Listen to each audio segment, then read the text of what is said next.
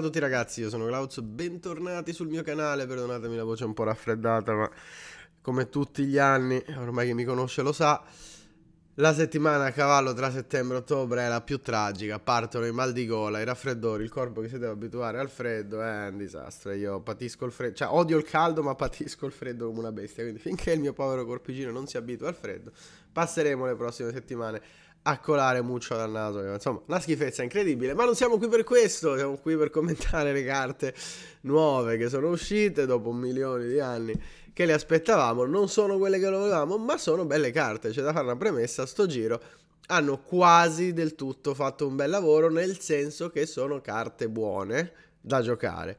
Poi che siano alcune carte eccessive, ma poi ci arriveremo e guarda un po' il caso quale sarà la fazione che c'era la carta più rotta. Eh, parliamo velocemente delle carte. Allora, intanto prima di partire lasciate un like qui sotto se il video vi è piaciuto per aiutarmi a far crescere il canale perché è regist- iscrivetevi, non registrate, iscrivetevi. Non costa niente, è un click, ma aiutate. Ah, allora, che cazzo. E...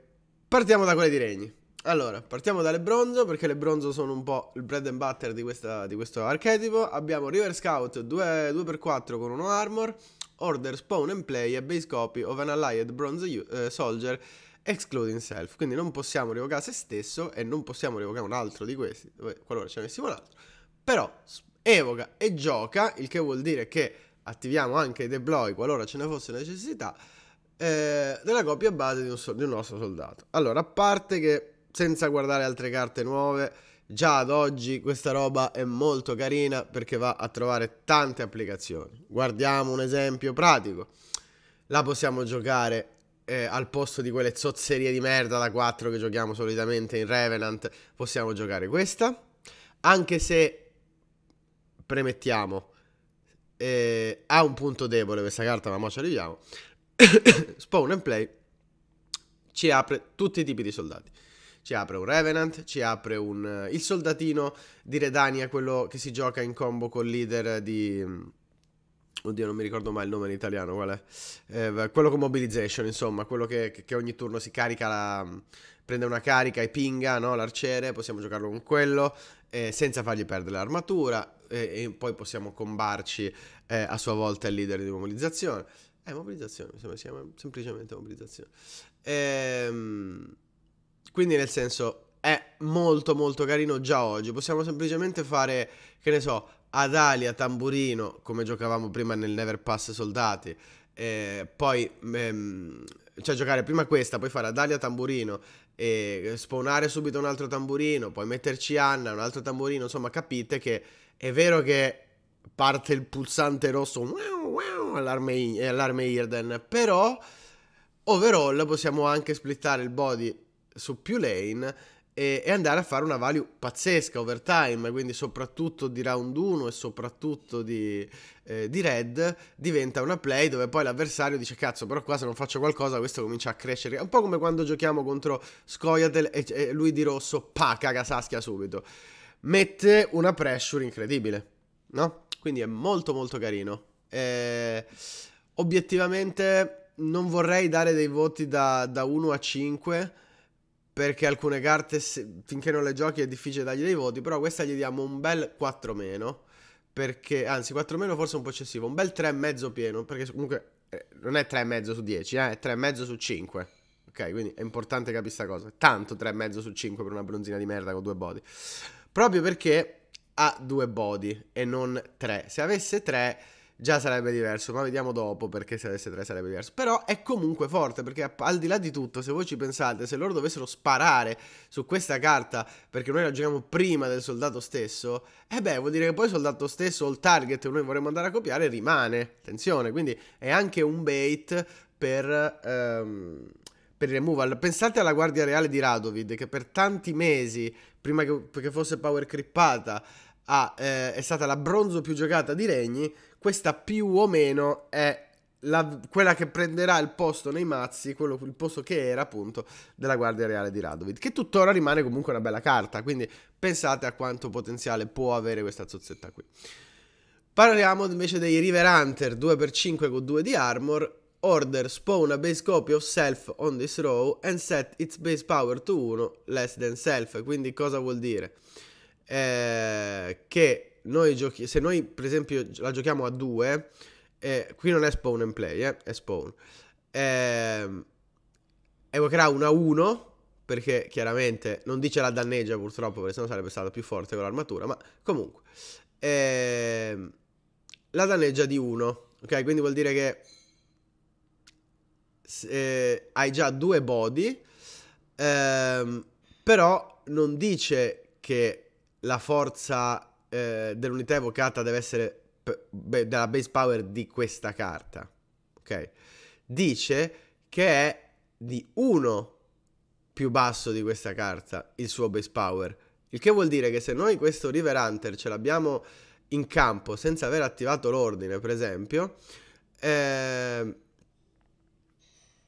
questa carta va, che ne so, ce l'abbiamo a 6, il vuol dire che noi evocheremo una base power 5 e che a sua volta evocherà una base power 4 se non dovessimo buffare quella copia. Quindi capite che quando voi fate tamburino, eh, Adalia tamburino, mettete River Scout, mettete un altro tamburino, eh, poi giocate River Hunter poi attivate l'effetto di River Scout, evocate un altro River Hunter più grosso, che a sua volta in mezzo ai tamburini si buffa, viene un altro River Hunter. Cioè, queste tre carte da sole, plausibilmente, eh, hanno ehm, la possibilità di riempire completamente la board da sole, solo queste tre.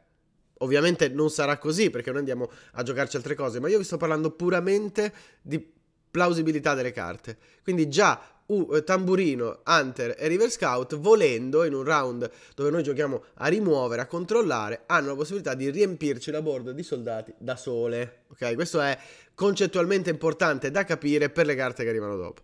In più, il River Hunter, alla fine del turno, eh, se è bonded, quindi ovviamente usando l'order sempre, ed è sulla row melee, danneggia di 1 l'unità col potere più alto, che è ottimo questo, questa roba qui. Perché direte voi ottimo? Perché ci setta Igni, che è una carta che molto viene giocata in questo periodo, quindi capite che avere la sicurezza di sapere dove va il danno in molte occasioni è meglio di andare a bilivare nel ping casuale a fine turno.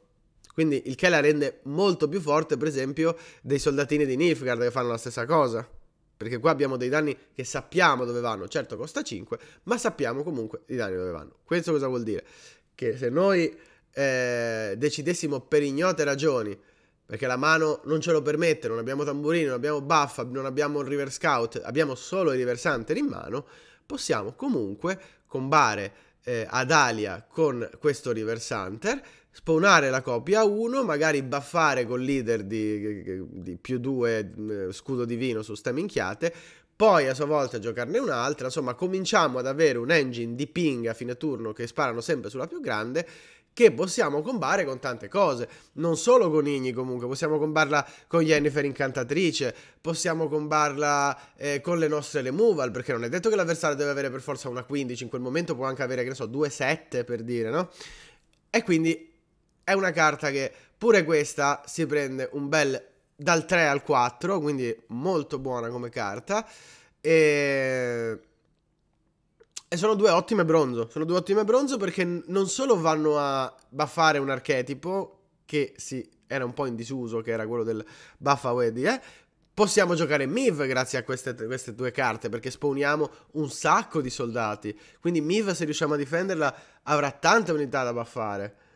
Capite la possibilità che aprono queste carte? Certo, non sono grossissime, ci, mi rendo perfettamente conto che il body non sia grosso, ma a parte Skellige, roba che pierce l'armor non ce n'è, a livello di removal comunque in questo momento non se ne sta giocando, quindi avere eh, due di armor è come avere due di body contro tante fazioni. E quindi è come se fosse una 4, che ovviamente entrerà buffata di almeno di uno, da qualcosa, da, da, una Anna, da un tamburino, da qualcosa. Quindi già è una 5x5 che spara a fine turno. È una 5x5 che, che, evoca una copia di se stesso. Capite quanto è value? E io mi sono fermato su queste due carte perché poi, siccome il livello di queste carte è molto alto, il power level delle carte, è giusto farvi capire che i body è irrilevante Perché questo che arriverà, e ve lo preannuncio, sarà un Gwent dove combatteremo a, spada sguainata per vincere round 1. Quando leggeremo le carte leggendarie epiche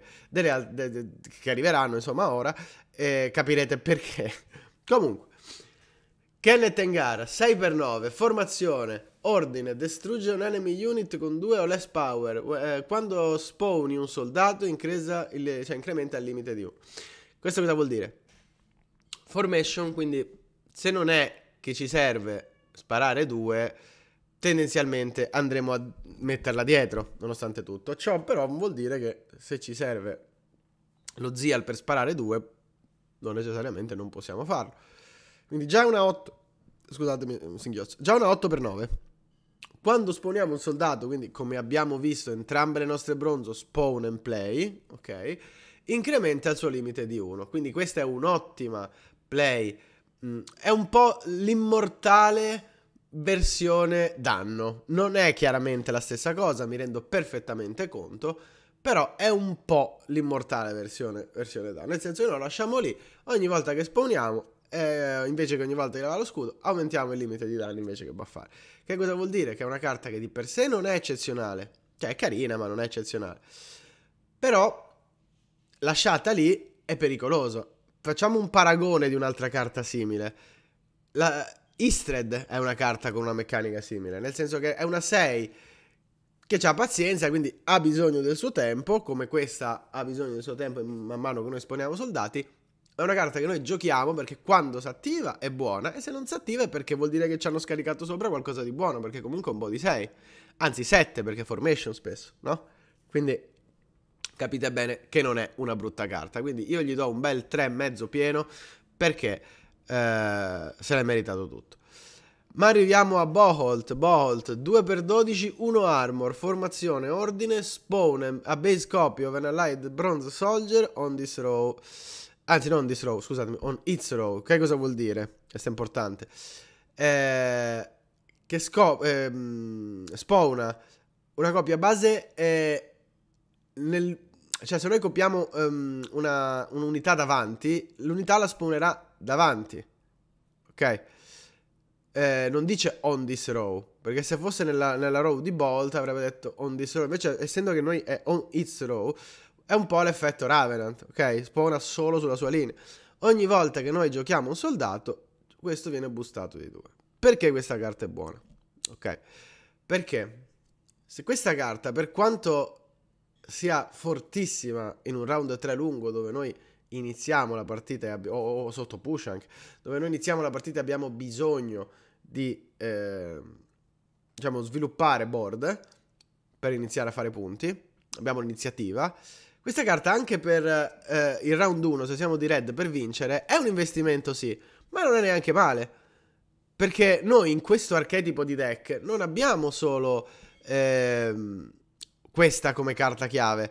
Avremo eh, Miv, avremo i buff AOE, ehm, avremo l'assalto, quindi Già, se ci aiutasse a vincere round 1 a even, e credetemi che vincere round 1 a even quando usciranno queste carte sarà molto più fondamentale di adesso, che già siamo tutti d'accordo che è sempre stato buono vincere round 1, ma vi assicuro che per il Gwent che verrà, vincere round 1 a even, non dico che necessariamente è praticamente da eschi per l'avversario, ma a volte sì, ma a volte sì. Questa carta è forte perché? Perché entra e, e, e, quindi dice subito che si busta due volte perché quando entra già eh, eh, parte il più 2 suo, quindi già va a 4 con, eh, con uno di bodies se non volessimo usare la formazione. Eh, lo combiamo insieme a uno tra River Hunter e River Scout eh, che possiamo combare anche solo sulla copia spawnata dal, da lui, quindi a sua volta eh, è, è un altro più 2, quindi già entra 6 più 1. Insomma, è una carta estremamente forte, ha bisogno dei suoi turni per recuperare le prov, ma neanche di troppi turni. Già un paio di turni e, e, e va ampiamente in prov. Ehm, questo potenzialmente può arrivare in un round lungo a una ventina di punti tranquillamente, più il body che spawna, quindi fa una value pazzesca. Sono 12 prov, ma sono 12 prov meritatissime e andiamo avanti. Quindi scusatemi, abbiamo detto a Bolt gli diamo un 4. Gli diamo un 4 meno su 5. Ok? Ok, quindi è un buon voto. Perché comunque standalone è una carta che ha bisogno di tempo, se no prenderebbe un voto più alto. Ma andiamo avanti e arriviamo alla nostra fazione preferita. Guardiamo le carte di Nilfgaard. L'unica, com- come vedete già peraltro da queste artwork, la differenza rispetto al solito è che di solito mi sentite sempre dire la classica frase Nilfgaard ha le artwork più belle, a sto giro un po' deludenti. Nel senso, brutte non so brutte, però. Allora, vediamo. Knight Challenger 5x4, quindi già body worth. Deploy game vitality equal to the amount of boost on an enemy unit as. Quindi, perché è così forte sta carta? Perché se anche l'unità avversaria fosse una merdosissima, non so, una madriade a cui hanno dato una carica, ok? Vuol dire che già c'è un più 4, quindi questa è già una 9 per 4. Ma quando questa roba prende vitalità almeno di 3, quindi un po' sempre quasi quando giochiamo sta roba, boost all units by 1. Attenzione, perché non dice boost all your units by 1. Ok? Non la vediamo come una carta folgore. Dice boost all unit, quindi le tue e le sue. Ovviamente non è fatto a caso. Questa meccanica delle carte nuove di Nif che andiamo a vedere è basata sul buffare gli avversari e ciucciargli i buff, quindi non è male, soprattutto in ottica del... Eh, eh, andiamo a rubare buff. Ma, come avete visto anche dalle carte di regni, non sempre è una carta così eccezionale. Perché anche l'avversario avrà tantissime unità che quindi buffare di uno troppe unità rischia di essere svantaggioso. Ciò nonostante, può avere eh, una buona value. Sembra una, a leggerla una carta molto più forte di quello che è. Ok ve lo, ve lo assicuro. Prima acchitto anche io l'avevo letta male veloce, dico no, ma che è sta roba. Però vi assicuro che secondo me questa carta è molto pericolosa. Perché se voi siete costretti a giocare sta carta in un round eh, dove vi stanno pushando, non solo questa carta è una carta da unicamente round 1, ma eh, diciamo probabilmente vedrà gioco. Perché nel suo archetipo uno ce lo puoi mettere, ma vi assicuro che è nettamente più forte di quello che sembra. Cioè, scusate, è nettamente meno forte di quello che sembra. Quindi io mi sento di dargli un 2. Di più, un 2 sulla fiducia. Ok? Non di più. Perché se non fosse grazie a 8, ma fosse grazie a 8 ordine, sarebbe stata molto più forte. Perché tu puoi decidere se o no andare a baffare. Così non mi piaciucchia troppo. Perché se ti stanno pushando rischia di essere una 5 che non fa un cazzo. O una 6 nella migliore delle ipotesi, che certo non è una roba oscenamente brutta, però è comunque una bronzina. Buhart. Boost tattica, quindi è importante sapere che tattica. Boost all enemy units by 3. Eh, scusatemi, an enemy unit by 3. And then annihilate unit by 9. Quindi è una normalissima 6x4 in ottica di valore puro. Però è molto più forte per il fatto che baffare di 3, baffare di 9 la nostra carta ci attiva tante cose. Peraltro questa cosa qua meno male che non è neutrale, se no pensate in un mazzo cavalieri sta roba. Comunque, ehm, è inutile soffermarsi su questa carta perché questa carta standalone è semplicemente un, cioè una, è una rondine, quindi andiamo a spiegare il perché. ovviamente, come avete capito, la meccanica del buffare gli avversari per poi andare a prendere i buff è molto forte perché si applica a, eh, alle nostre eh, altre carte. Ma andiamo a vedere. Guillem, Guillem de l'Enfant. 6x8 deploy boost self and an enemy unit by half on, the, of their combined power. Cosa vuol dire? Eh, che lui si boosta di, eh, di metà della somma dei loro poteri. Quindi, immaginiamo ehm, se noi prendiamo un'altra 6 come target, ok? Il loro potere combinato è 12, vuol dire che entrambi, quindi sia Guilhem che l'altro, si boostano di 6. Ok? Ordine a grazia 14. Eh, move all statuses from an enemy unit to self. Mm, diciamo che questa è un po' più macchinosa e forse grazie a 13 sarebbe stata meglio ora della fine. Però comunque non è male. Perché direte voi? Perché eh, il defender è uno status. Perché eh, immune potenzialmente è l'unico status che non possiamo andare a rubare. Proprio perché non è targettabile. Ma il fatto che questa roba ciucci l'essere defender, o il fatto che questa roba ciucci lo scudo, eh, ciucci le, le, le vitality, eh, non è male, obiettivamente. Quindi, certo, va vista bene nello specifico, quindi per ora la calmiamo qui. Bucler, Resilience, Location. Non è uno scenario, è una location, so che dall'immagine sembrava, ma... Eh, set an allied unit power to match the highest power of enemy unit. E mo capite il perché è figo buffare gli avversari. Perché sta roba più o meno fa quello che avrebbe dovuto fare eh, il calice quando, e il costo soprattutto che ha quando è uscito. Perché comunque è una carta che costa 13 e poi ovviamente come ordine chiaramente resetta il potere di un'unità. Quindi più o meno fa quello che faceva il calice insomma. Quindi se noi andiamo a chain buffare con Cavaliere di Nilfgaard, con uh, Buhurt, con Guilherme una singola unità, andiamo a guadagnare una tonnellata di buff di, su, su, su noi stessi, ok? E poi la sua la resettiamo. Se lui dovesse metterci un defender davanti, abbiamo Guilherme che glielo ciuccia al defender, quella roba lì. Ok? Il che è buono. Il che è buono. Mm, qual è il problema? Che questa meccanica di Nilfgaard è molto forte quando l'avversario non sa giocarci contro. Ok? In un ipotetico round dove noi uh, siamo di red è una meccanica molto carina. Cioè, adeguata. O dove noi giochiamo in risposta e abbiamo la last 6.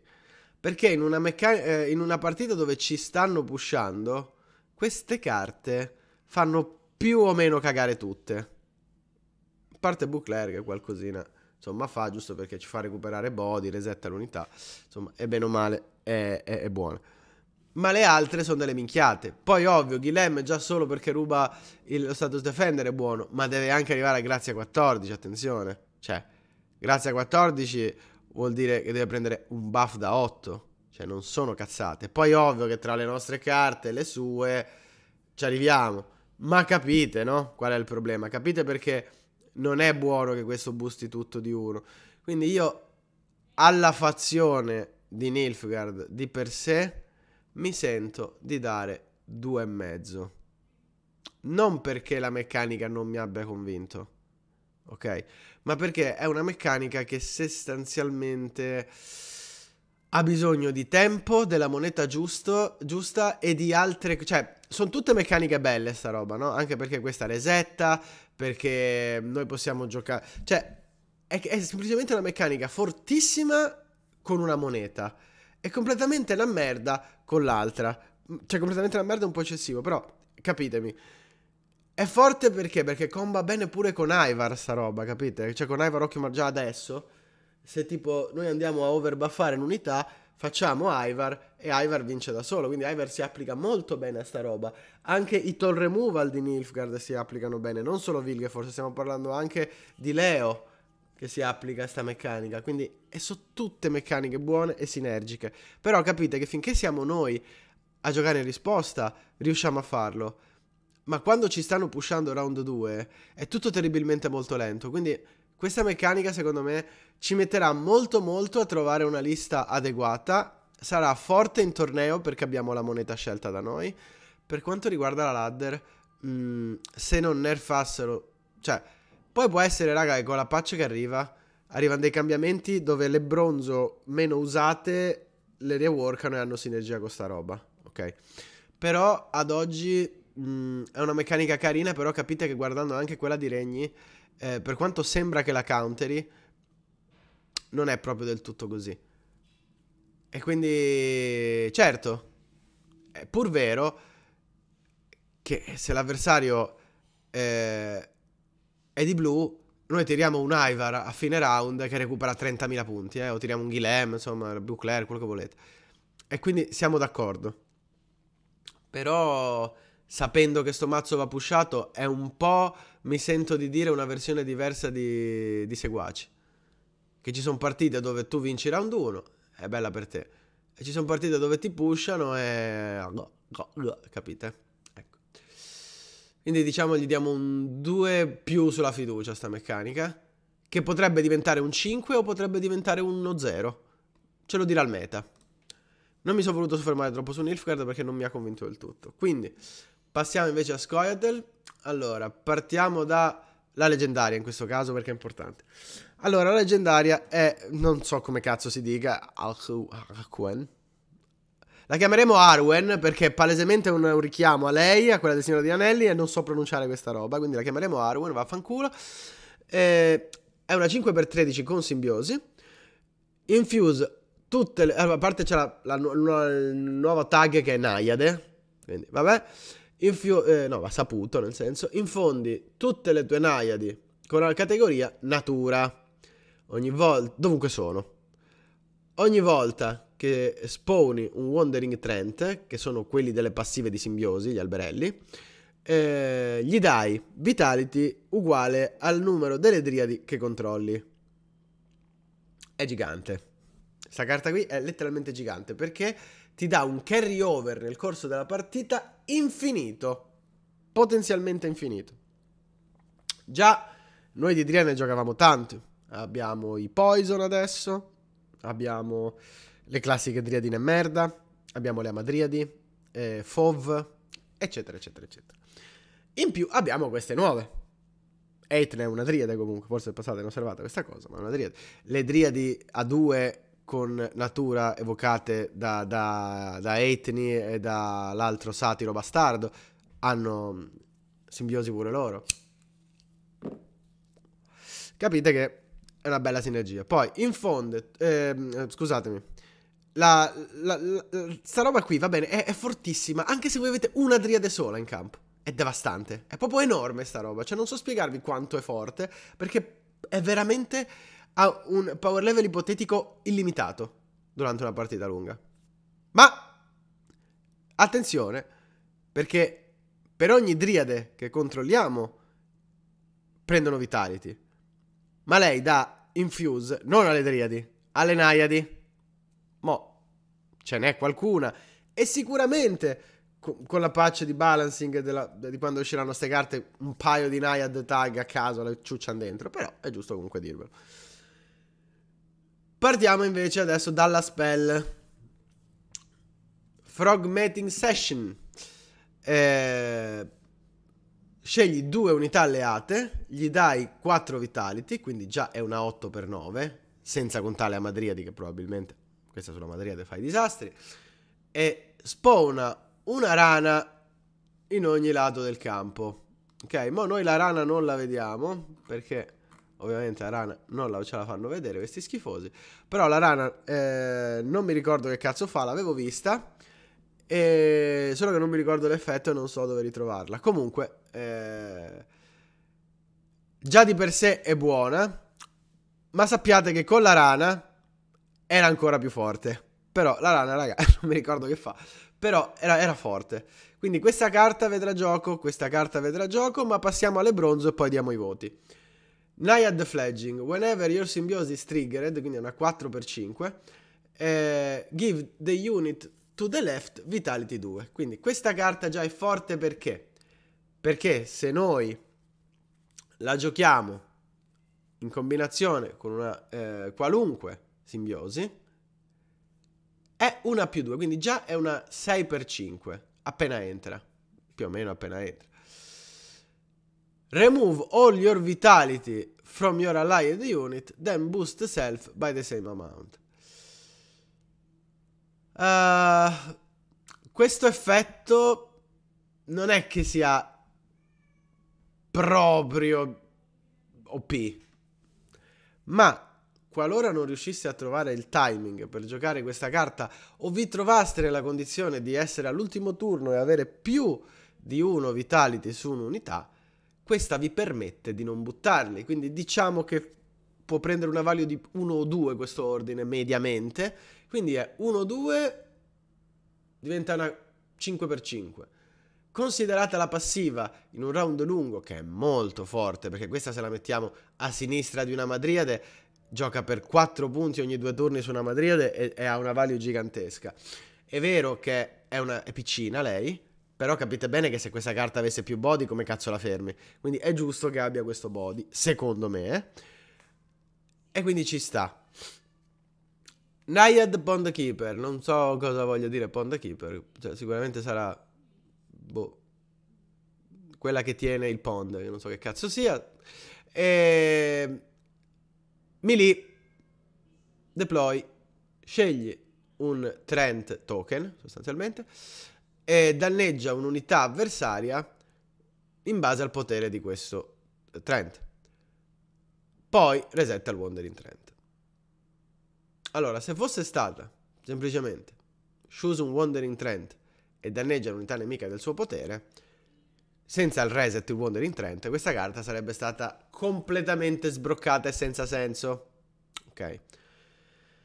Il fatto però, in un mazzo che spesso si trova a giocare Devotion, avere la possibilità di fare un danno più alto di 5, chi di voi ha giocato Simbiosi Devotion sa che avrebbe leccato la cacca di cane per strada per poter sparare più di 5. Quindi questa ti apre delle possibilità. Soprattutto, per quanto possa sembrare brutta, pensate contro un mazzo Nilfgaard che abbiamo appena visto, di quelli di prima, avere questa possibilità. Perché noi possiamo giocare in risposta a questa carta all'overbuff di un'unità. Quindi levare magari un suo defender, levare magari eh, il suo Guilhelm, e tutte questo tipo di unità. Così perché sostanzialmente eh, può giocare da counter, seppur contro altre fazioni rischia di essere uno snare questa roba. Però non, nessuno vi obbliga a metterla davanti perché se la mettiamo dietro infonde una carta non simbiosi alleata con simbiosi. Quindi è ancora più sinergica con la fazione. E capite bene che quando cominciate a mettere uno o due, tre bronzo adesso e poi cominciate a lanciare le bronzine con natura, diventa forte. Ma attenzione, perché non dovete dimenticare che Irwen mette natura a tutte le driadi, quindi queste carte proccano simbiosi quando entrano. Il che cosa vuol dire? Che se noi abbiamo una madriade, gli... eh, partiamo, a madriade carica, prende, prende due vitality, poi Naiad Fledging, che ha anche la categoria natura, quindi proca simbiosi. Bam, mettiamo eh, Naiad Fledging e diamo altri due vitality alla Madriade. Intanto sponiamo un token. Ok? È grossa sta roba. È grossa. Molto grossa.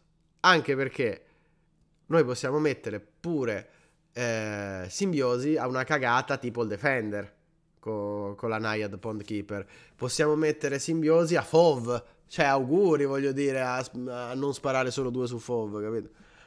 Quindi mi sento di dare voti singoli. Eh, tipo, darei un dal 3 al 4 alla. Scusatemi, dal 3 al 4 alla Pond Keeper. Perché è una carta un po' situazionale, ma molto forte. Ed è comunque una 5x5. Che avrà natura quando entra. Mi sento di dare 4 alla Naiad Fledging. Mi sento di dare eh, 3,5 perché quando ho visto la rana mi è sembrata forte. Adesso poi, raga, quando usciranno la riguardiamo meglio. Però diciamo che su questa, diciamo che è forte, non mi ricordo bene che cazzo fa. Comunque, eh, era forte. Quando l'ho letta mi è sembrata forte. Quindi mi sento di dare un 3,5 a sta roba. Ma lasciando stare il Frog Meeting Session, Season, eh, darei un 5 meno a Darwin. Non perché perché comunque una tempo play un po' piccina. Però ha simbiosi anche lei, eh, c'è da dire. È molto forte. C'è una carta che voi potete anche giocare la... Mm, la come cazzo si chiama? la, la pergamena anche solo per andare a tutorare lei. E siamo tutti d'accordo che chiaramente sull'immediato non è una pergamena valida quanto può essere Saskia di, di Red, ok? Però pensate ai punti che recuperiamo sul lungo termine. Pensate al fatto che possiamo avere accesso, grazie a queste carte, a un removal fuori da canicola più grosso di 5 su, su simbiosi. Finalmente simbiosi diventa un mazzo con un po' di tattica e non è più uno slam point. Personalmente, un bel 4 più ad Aiko, quanto gli ho dato? Non mi ricordo, 4 più.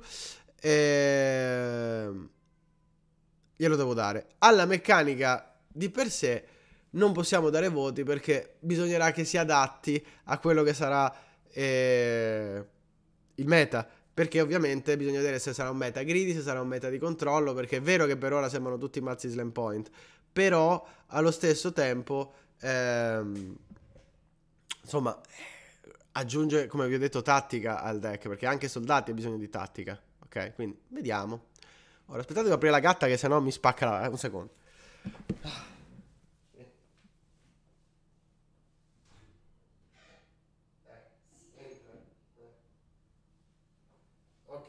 Continuiamo perché avevamo bisogno di, di, una gatta che non riusciva a stare senza suo papà e quindi è dovuta per forza arrivare qui. Allora, e... poi, poi, poi, poi, poi. Passiamo invece a sindacato.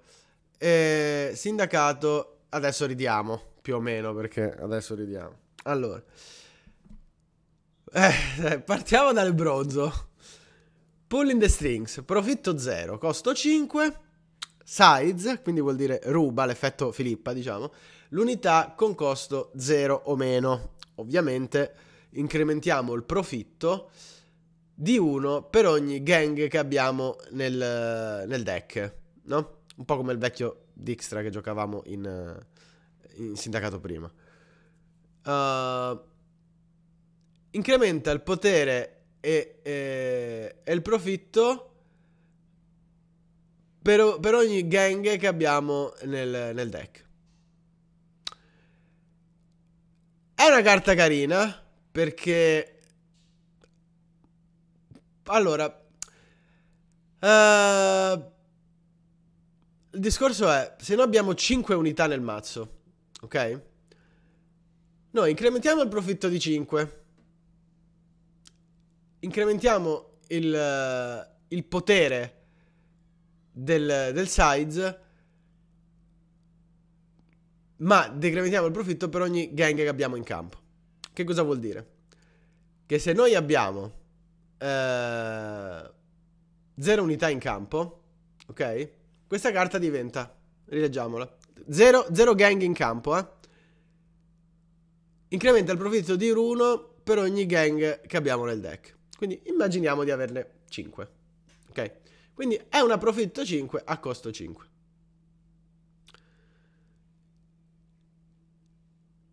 Noi possiamo eh, andare a rubare una 5. Quindi tendenzialmente buona. Ma se noi avessimo 3 gang in campo, rileggiamo la carta. Profitto 0.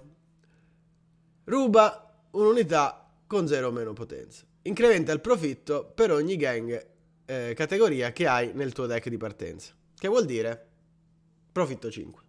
No? Però in campo ne abbiamo 3. Incrementa il potere e diminuisce il profitto di 1 per ogni gang che controlli. Quindi vuol dire che se noi in campo ne abbiamo 3, noi rubiamo una 3 e abbiamo profitto. 2. A me sta bronzina non fa impazzire, sinceramente. Non è brutta perché invece che avere 5 gang, adesso bisognerebbe contarle, ma potremmo averne qualcuna in più in un mazzo montato a modo, quindi potrebbe essere un size 4, che per il suo costo, attenzione, per il suo costo è ok. Problema è che non è una carta che, oh my god, capito? È pur vero è pur vero che come carta profitto di partenza è buono, ma capite bene che se voi giocate questa carta come... Cioè, se questa carta fosse una carta che size subito, l'avversario parte con un engine importante, magari come prima play, e voi avreste la possibilità di prendergliela. Invece, se voi non avete carte, ricordiamo, se voi non avete niente sulla board di gang, a parte che è difficile perché con tutta la resilience che c'è, però ipotizziamo che noi non abbiamo niente, abbiamo la candela, non abbiamo un cazzo. Vuol dire che noi incrementiamo il profitto scusate, il power per ogni, per ogni gang che abbiamo in campo. Il che vuol dire che all'inizio è solo profit se non abbiamo niente, ok? Eh, quindi, so, me non fa impazzire. Poi, ci sta pure che si giochi perché...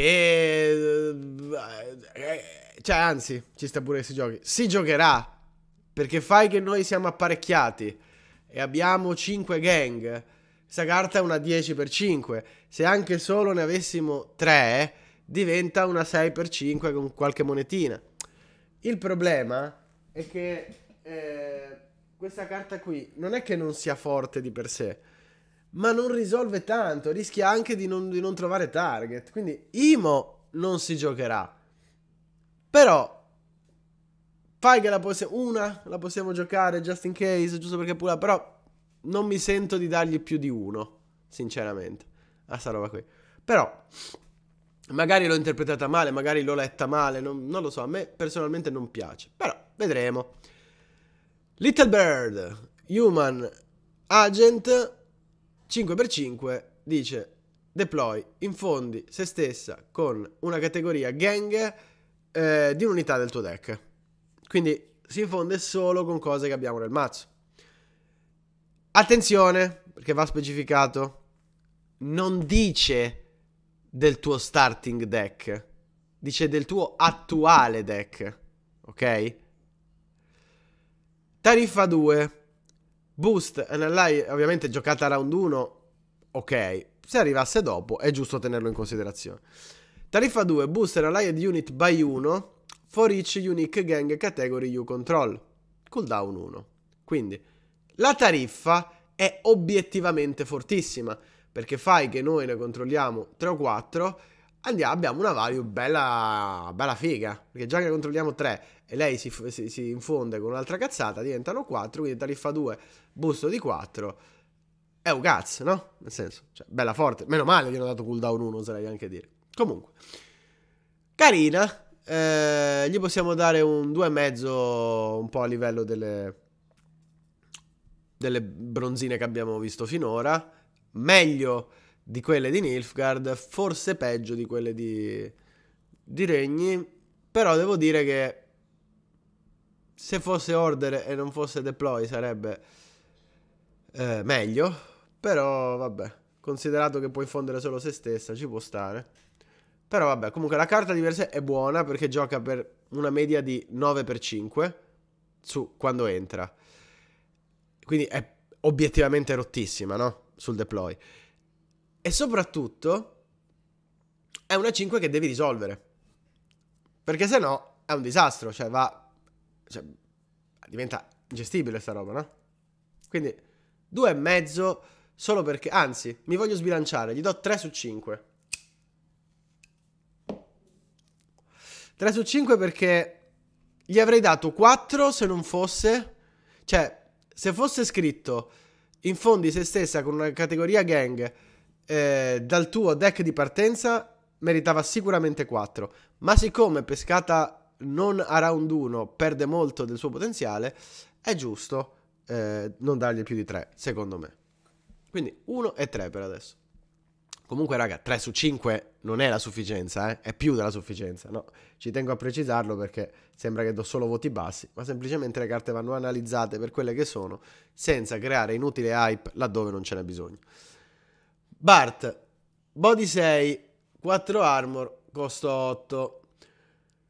Ogni volta che giochi in unità con gang eh, di una categoria che non controlli al momento, e quindi il fatto che lui non abbia gang è, un be- è una bella cosa, eh, guadagni una moneta per ogni categoria di gang che tu controlli. Che cosa vuol dire? Che all'inizio guadagni una moneta, poi ne guadagni due, poi ne guadagni tre, eccetera, eccetera. Allora, overall non è una carta che, oh mio dio, al miracolo, ma è comunque una 6x4 che potenzialmente mh, mm, undisputed, quindi difficile da rimuovere se non è che ce la bloccano, guadagna 1, 2, 3, 4, quindi sono 4, 4, 8, una 9, potenzialmente è una 15 per 8 di average in un round normale.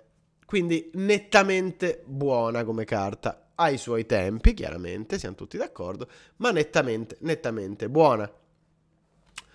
Anche qui mi sento di dare un 3 meno, perché il meno è solo per il fatto che eh, può essere bloccata. Però di per sé la carta è una carta ok, semplicemente perché è comunque una 6 con 4 body e quindi fisicamente è una 6 però, cioè sono 6 punti che non ti negano.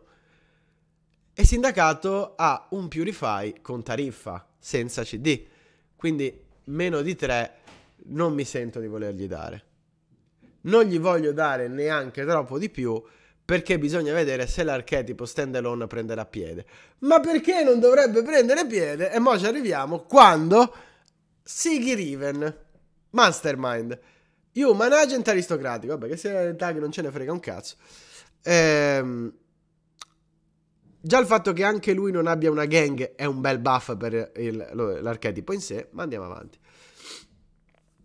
Deploy Look at collusion and a random card for each gang from your deck then play one. Ok? Quindi vuol dire che di base ti dice puoi guardare alla collusione e a un'altra carta eh, nel mazzo per ogni gang nel tuo deck. Attenzione, anche qui non è starting deck, è from your deck quelle che vi sono rimaste quando giocate lui. Quindi se avete due carte nel mazzo e questa è la giocata come last 6, fa cagare. Ok? No, ci tengo a dirlo perché sembra che questa sia una carta da last 6. Ho sentito gente commentare, ah ma questa come finisce giga. No, questa serve per snowballare la partita. Guarda, alla tua collusione un'altra carta per ogni gang che hai nel mazzo e poi giocane una, una tra le due. Non tutte e due, non collusion più un'altra, una. Ma tributo 9 gioca 2. Tributa costa 2 in meno per ogni gang che tu controlli. Questa carta è da 5. Ok? Perché è da 5? Analizziamola. Voi avete uno spender in campo, ok? Tipo uno sciacallo, uno sgorbi, qualunque cosa avete tre gang in campo. Ok? Già finta. Quindi già il tributo costa 6 in meno. Lo giocate con off the books, quindi costa 7 in meno, quindi tributo 2. Vuol dire che è una 4 per 12 a tributo 2. Ok? Che di per sé eh, ti fa giocare due carte. E non è collusion più 2, eh? È 2 o collusion più un'altra o altre due che non sono collusion. È importante dirlo. Se noi non controlliamo gang, la forza di questa carta è che ci pulla fuori Cobb da sola. Più o meno, quasi da sola, insomma. Quindi, questa fa giocare 2 e ci pulla fuori Cobb, quindi Tinna 3. Avete presente in un round 1 dove voi siete di red cosa cazzo vuol dire sta roba? Che voi potete giocare due bronzo merdose e tenervi le gold per il round 3, tinnare. Anche se, se, avete la collusion settata, bene, potete giocare collusion e fare 50 punti. Ma chi se ne frega, se anche non avete la collusion nel mazzo, cioè nel, eh, sviluppata, fa niente. Perché voi potete giocarla senza niente in campo, giocarla insieme a uno sciacallo merdoso, ok? Pullare Cobb, riempirvi di coin, settarvi Filippa e giocare due bronzine powerful. E spammare monete come un criminale. potenzialmente la possiamo giocare con tutti i leader di, di sindacato, non solo con Off the Books. Ovvio, con Off the Books sul Cobb è più sinergica, ma non vuol dire che non sia neanche giocabile con altre cose. Quindi questa è da 5. Perché già il fatto che questa è una carta che a round 1, ok? Dopo che hai tirato 3 cagate bronzo, tiri questa, pulli Cobb, hai già uno spender, e, e, non perdi monete, ti, vinci il round levandoti la schifezza dal mazzo, questa rende sindacato la fazione più stupida ancora più di quello che era prima. Perché? Perché ti dà una carta che a round 1 ti tinna la merda e ti fa vincere il round. Sotto push non ti fa perdere la carta e non te le fa perdere le carte con la merda perché tu puoi pullare le cazzate. Ok? E se hai già le cazzate giocate, giochi collusion e fai 50 punti. Sta carta è rotta, porco cane. Basta fare le carte rotte di sindacato, avete cacato il cazzo. Ci sono sei fazioni in sto gioco di merda. Comunque, arriviamo all'altra preferita della, della CDPR. Comunque, eh, sindacato direi che insomma si è presa un 5-3, 3-1, perché a me non piace però, ok, direi che sta messa bene. Ora, dicevamo, eh, Skellige, Brockvar Warrior 2x4, deploy, damage an enemy unit by 3, quindi una 5x4 così subito. Se il target è danneggiato, ripeti il deploy con una differente target eh, in, sparando 2 sostanzialmente. Quindi diventa una 2 più 3 più 2, quindi una 7 per 4. L'average delle 7 forti a livello di punti standalone, però è un warrior. E quindi il fatto di danneggiare due unità spesso è più worth che mettere una 7, no? Di per sé come body. Quindi la value pratica è la stessa, la value teorica è molto più alta, no? Cioè no, scusatemi, la value teorica è sempre 7, la value pratica è molto più alta perché andiamo a settarci Blatters, andiamo eh, ad attivare la possibilità di fare haste, 1300 minchiate forti, comunque, senza contare che anche solo che spacchi un engine a 3 di, di regni per dire va benissimo, il suo l'ha fatto. Feral Bond, questa è una carta fortissima, intanto a questo signor Brockwell gli diamo un 3,5 di suo. Anche perché è pure un warrior a 4 stelle col deploy, quindi lo possiamo usare anche con guerra fra clan. Comunque, spawn a Skylige Wolves on an enemy row and damage it by 1. Then create a bronze Skylige warrior. Plattis 3, you may spawn and play any bronze Skylige. Vabbè, allora. Eh... Questa carta è rotta. Perché il lupo intanto va detto che è una 2. Quindi eh, Scalige Wolves noi glielo uccidiamo, cioè glielo danneggiamo di uno e dopo creiamo un'unità Skellige bronzo. Ok. Non riesco a capire perché qui ti dice tu puoi spawnare e giocare any bronze Skellige warrior instead. Perché Ennis che quindi sempre bronzo. Cioè non è Any Skellige Warrior instead, che ovviamente non sarebbe stata umanamente accettabile.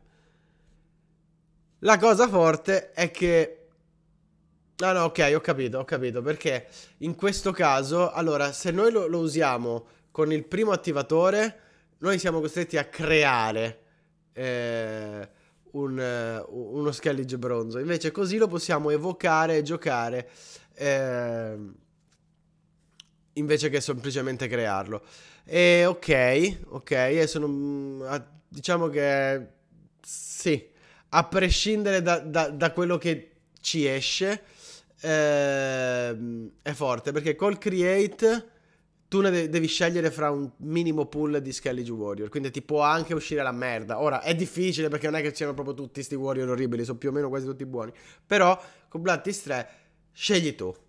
Ok, cioè questa è la cosa importante, che scegli tu, sostanzialmente. Mm. È forte anche perché è una carta ride. Ok? Che vuol dire? Che prende value dai signori dell'altopiano. Quindi invece che sparare di uno, spareremo a più di uno. Quindi questa a mani basse prenderà il posto della carta con la manina che evoca il lupo da 6, cioè l'orso da 6 in Skellige Warrior. Ed è molto forte. Perché è un ride che ti permette di scegliere esattamente il cazzo che vuoi. In un mazzo warrior, una carta che spara e ti fa scegliere un warrior che poi Diciamo che in un mazzo warrior ti va bene un po' qualunque cosa di quello che spawna, quasi. Ma poter scegliere non fa mai male. Considerato che non, non è come la manina dell'orso che ha bisogno di uccidere. Attenzione. Questo ha bisogno di Blood Tears 3. Cosa vuol dire? Che se noi la giochiamo dopo il Brockvar Warrior che ha già sparato due, ha già danneggiato due, la terza unità danneggiata ce la dà il lupo che evochiamo, sono già tre. Quindi io mi sento di dare al Feral Bond 4,5. Perché mi sembra una carta molto troppo forte per essere una 4 Pro. Troppo forte a mio giudizio. Se non fosse stata Raid gli avrei dato 3, ma essendo una carta Raid non posso dargli meno di 4 su 5. Se mi sembra una carta completamente sbroccata. Ulula. Abbiamo ululato.